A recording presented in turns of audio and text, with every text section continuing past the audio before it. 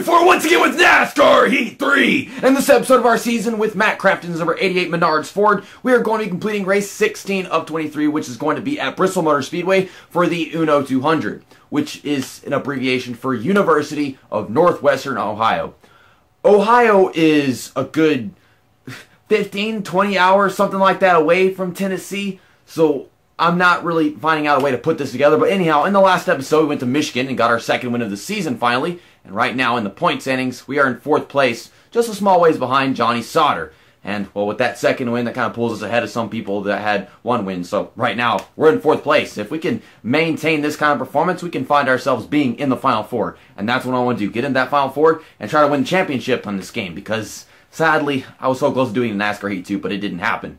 Now, Stewart Friesen at the bottom. Our teammate Grant Enfinger's in sixth place because he's the highest in points with just one win. But, you know, he does have more points than Todd Gilliland, so he could be in fifth place if he gets himself another win. So, going to this race at Bristol, uh, whenever I first got this game, I was finding Bristol be a really tough track, and the reason why was because I would run the outside line, you know, where the, the darker part of the track is, and I've come to realize after running a practice before I started recording this video, the bottom line is better even though it's like the, the brightest part of the track where it seems like less the AI tend to run. But if they want to pass you, they want to pass on the bottom. And, well, you're faster on the bottom whether they're trying to pass you or not. So we're going to be running the bottom today, and hopefully we can find ourselves getting a top five. When I came here to practice for recording the video, I qualified with setup 5 and then quickly decided to go to setup 6 just because I wanted a little more grip off the corners. I felt like if I put it on setup 6, it wouldn't be spinning off the corners. So it has to be setup 6 during the race and qualifying because on setup 7, we all know that if you have a loose vehicle at Bristol, it likes to just hang a freaking left and then it won't stop steering. It'll just go straight down to the inside wall. And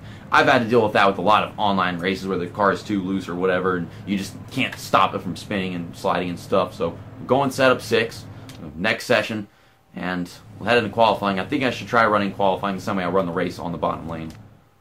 And obviously, like I said, I ran qualifying a while ago with like setup 5, so I'm running qualifying with setup 6 now, which is probably going to be better. And of course, I'm on running the groove instead of being on the inside lane like it should be.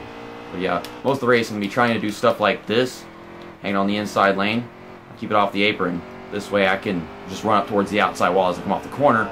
Second place that is the best qualifying I have gotten in this game yet.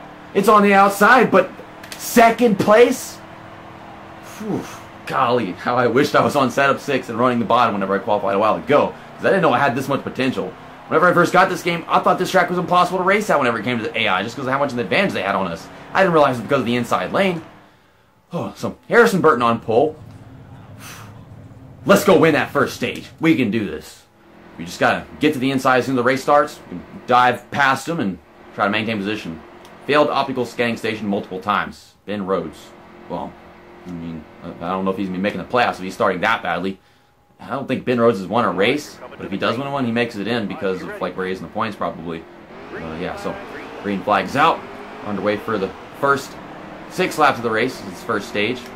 Dive underneath Harrison Burton right here on the bottom lane, like you run out of grip whenever you try staying down there, but you do get a really good run off. You just got to be aggressive going in. Harrison Burton's right there in front of me, but if I focus, I can get this position. Let's just work on him. Got Johnny Sauter trying to make a pass on me. Just got to really dive into the corner fine. Arc it back down, coming off perfectly. We can do this. You just go into sweat mode real quickly.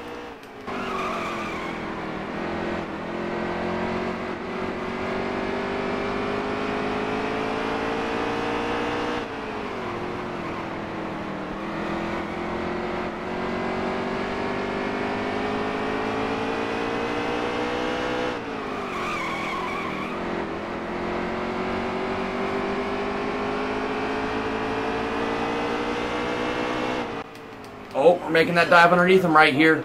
Look, wash up towards the center. But we got a good enough runoff to be right there behind him. Okay, we'll dive into three right here. We can make this path for the next lap or so.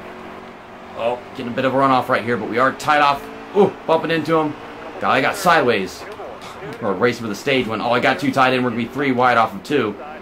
Ugh, Noah Gragson takes the lead. Or he's trying to. Okay, hit the brakes. What a crossover. What a race for the lead right now. This is probably the best race we're going to get all season. And now Noah Gragson, we got one lap to go in the stage. Oh, I don't think I can get past Gragson, but we're going to finish this pass on Harrison Burr. We're going to lose a position in the stage. I know we got this. I'm barely touching that apron. Yeah, Noah Gragson just ran away with it. Made too much of a dive into turn one a while ago and made it three wide. And he just flew past both of us. I tried to come back around him and get that pass, but just couldn't happen. But still, second place the first stage, nine stage points. I'll take it. Let's see if we get a position or two before the playoffs comes to an end. Because actually, tomorrow, whenever we go to Canadian Tire, that's going to be the first race of the playoffs from what I've heard from um, a couple of my fans in the last episode. Uh, we have 27 laps of fuel and 20 laps remaining in the race. So does that basically mean that we are not taking pit stops in the race? If that's the case, then I'm going to have to take my shirt off in the final stage because driving on excessively worn tires is going to be just absolute freaking hell. So, no pit stop. Start this stage from the outside again. But, I mean, we're running up front. So, yeah, screw it. Like, who cares? We're on the outside, but running up front. That's great. Uh, can we get a better start to the stage this time? Probably not, because usually the leader doesn't have to deal with too much wheel spin. I shouldn't be beating the leader to the finish line anyways, or the start line as you'd call it, but okay, let's just keep running at the bottom. Our tires might be a little worn now, but we can still race to try to get past Noah Gragson right here. Ugh, I, am driving on the freaking apron. Ugh, I bumped into him. That is not how I was trying to make that pass, but golly, I'm just, ugh, anxious to get this crap. Ugh, onto the apron again. Ugh, a bump. Ugh, I gotta make more perfect corners. Let's stop trying to run him into the wall almost every freaking corner and just focus on making good turns. Hit the apron. I'm trying to now, but I'm hitting the apron instead. We're pulling away from these guys behind us, but golly, it is so fucking hard to pass the leader at this freaking track, apparently. Okay, just arc it back down. Okay, sweat mode again.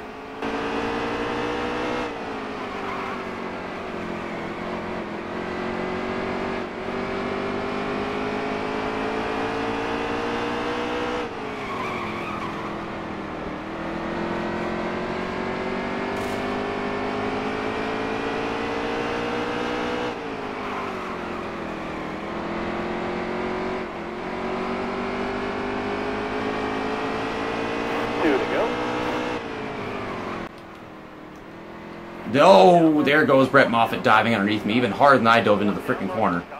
Now someone's trying to pass me down below, freaking Harrison Burton. Get this spot back. Ah, now Harrison Burton's trying to dive underneath me off the corner, and he will.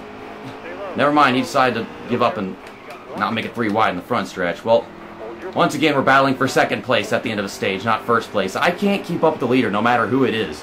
Even if it's a different driver, I've proven to be faster than them during qualifying, or even as the run goes on. It's just like I, I can't beat the leader. And also, yeah, Brett Moffitt would lead the pass. We're going to finish third in the second stage. Tires are really dragging me down right now. The truck is lacking so much more in grip now. So are we taking pit stops now, despite the fuel... No pit stops this race? What the fuck, game? How... How? Like, why we have so much more fuel? Like, they're supposed to give us, like, less fuel so that we find ourselves having to take a pit stop. Uh... I mean, look at those right sides. And then the left sides Airborne. I don't know if we're getting other cautions on during this run. This probably sounds absolutely ridiculous, but I don't need to win this race. We're in the playoffs. I'm going to try something. I mean, this is not in the playoffs, so yeah, I think that's okay. We'll get two, yeah, two cans of fuel, four tire. I don't need any fuel. So, yeah, no fuel. We'll get four tires, and I guess we can repair damage if there's any at all. Yeah, we're all the way at the back now. Ben Rhodes has not made any progress since the race started. Wow. Figured he would have gone somewhere, considering he probably started up front somewhere, but yeah, thing happened with the optical scanning station. We have fresher tires in every single driver in the field right now. We are all the way at the back. We've only got so many laps to use these fresher tires. So, I don't know if they're going to pit during this stage for some reason, but Ben Rhodes can't go anywhere because his tires are worn and he's hugging the bottom lane. Get out. Well, now I'm back here, but I can't pass him because I hugged the bottom lane. So there we go. So, let's just pass as many people as possible. And I should be just flying past people with these freaking um, fresh tires. Okay, just don't grab onto the apron like I did like probably four times already in this race. That really doesn't help our case at all. Yeah, I'm getting past people very quickly, and no, these people are um, people at the back of the field, and the leaders are faster, but still, usually they all drive quite similar lap times, and we're just kind of speeding past a bunch of them right now. Ugh, golly, truck turn, fresh tires, man. There's Dalton Sargent, someone that usually starts up front all the way back here. Oh, ran into Purdy. That, that wasn't so purdy. I don't know. But yeah, I, I forget who drives the freaking 8 truck, but it's like a Dale Earnhardt Jr. tribute paint scheme, and I never remember the name of the person who drives it. Yeah, but we're just flying through the field right now. I already made up like 10 positions. Well, 10 positions wants to go into this corner. Gonna make it three wide, hit the apron, it starts to kick my truck out sideways. wearing down the tires too quickly.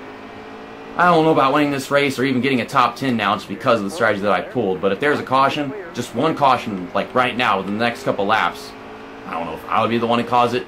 That's going to give us such an advantage against everybody else, and especially if they try pitting. If they have fresher tires than us or something, I don't know. But, um, I really wish that we have some kind of caution in the next few laps. If it's towards the end, then we're going to have like a green-white checker, but even that would help us just because we'd be better at the restart than everybody. Still, I hate how this race just did that. Like, I really wish that there was a mandatory pit stop. You know, you'd run, run out of gas if you don't pit, but oh, this race is so different from all the other ones because it's good, but it's just missing that one thing. I swear my game just lagged. Please caution, please.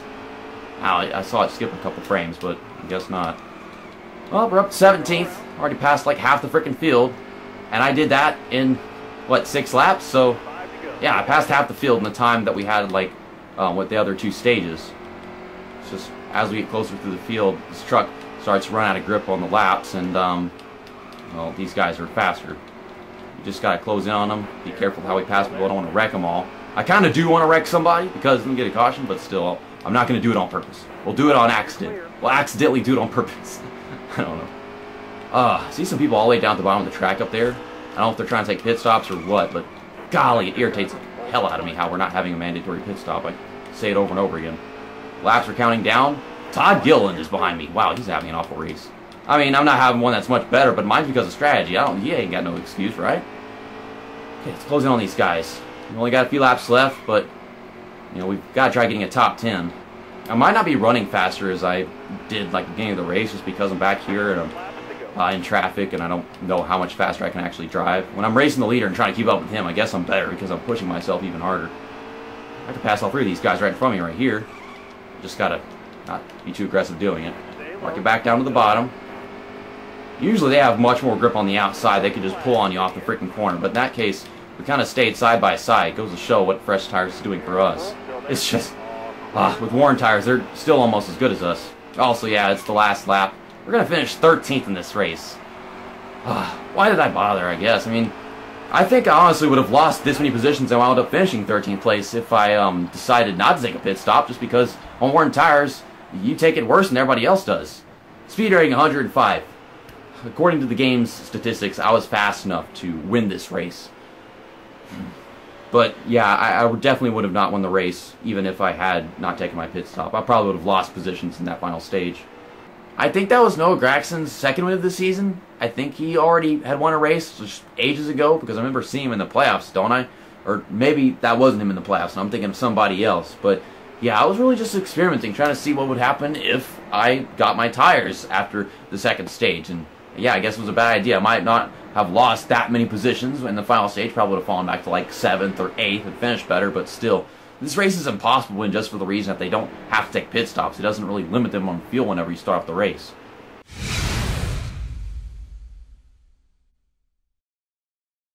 And so the regular season comes to an end. We've got seven races left. The first three should be the round of eight. The second three are the round of six. And then we've got the final race of the season at Homestead, the final four race. That was indeed Noah Gragson's second win of the season. He's only one point behind us because all the points is reset. Basically, if you make the playoffs, they give everyone 2,000 points, and then you get your points for having won races or you know won stages and stuff like that. And that's just, about it. And at least Grant Enfinger make it. That was something I was hoping for. Uh, we got Brett Moffitt just two points behind John Hunter Nemechek, and usually Brett Moffitt is better, but John Hunter Nemechek has gotten more luck with wins, and that's just about it. So uh, either me or Brett Moffitt for the championship. I'd also like to see Johnny Sauter win it. I really don't care that much for John Hunter Nemechek, but okay, let's get out of here. See you guys tomorrow for the Chevrolet Silverado 250 at Canadian Tire. That is a road course, and the AI, they're not at their best at road courses just yet, but they are getting pretty good. So we should be able to finish in the top five, if not win it. And we got Las Vegas after that, so we should have a good first round in the playoffs. We were already, you know, good on points a little bit, and you can run well at both of these tracks. You saw we ran at Las Vegas at the beginning of the season, but see you next time that's that. And let me switch to the playoff paint scheme. Episode over.